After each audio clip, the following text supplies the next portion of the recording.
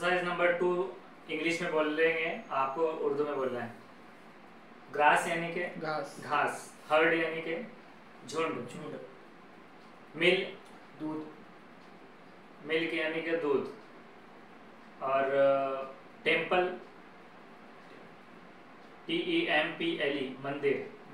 Drum. ढोल। ढोल। Gold. ठंडा। गोल्ड। सोना। सोना। और कोल्ड ठंडा। ठंडा। सोप।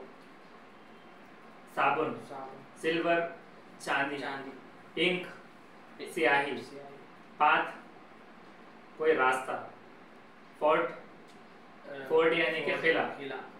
मॉस्क मस्जिद मस्जिद। फ्रॉक मेंढक सी एस सी ए सी समंदर और see S see S double E see मतलब देखें।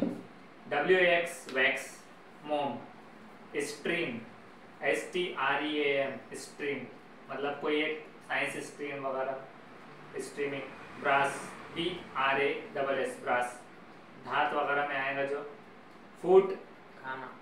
फ़ूड मतलब खाना। और फूट यानी पैर leg L E G leg leg मतलब वो भी पैर रहेंगे लेग पीस इस तरह से. थाई अलग है और मंकी यानी के बंदर. बंदर. Goat G O A T goat बकरी. बकरा.